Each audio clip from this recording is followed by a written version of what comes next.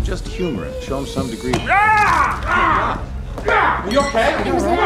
Okay, it's time for us to go. I'm so sorry. All right, I just need to run it under some cold water. I'm not going to lie. I despise children. There, I've said it. I have no patience for useless things. Moments like this require someone who will act.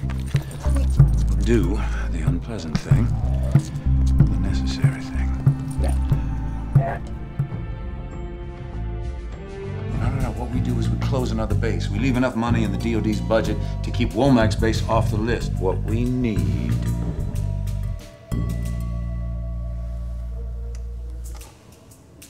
is someone we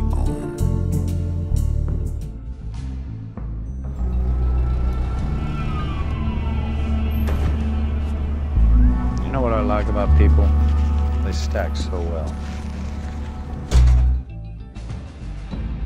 I, I've worked on a number of political campaigns in the States, some Senate races, presidentials, uh, and, and of course written a play and a movie about the world of politics. I was constantly learning and constantly uh, drawing from what I was seeing around me, and, and often in politics, uh, life is stranger than art. Power is a lot like real estate. It's all about location, location, location.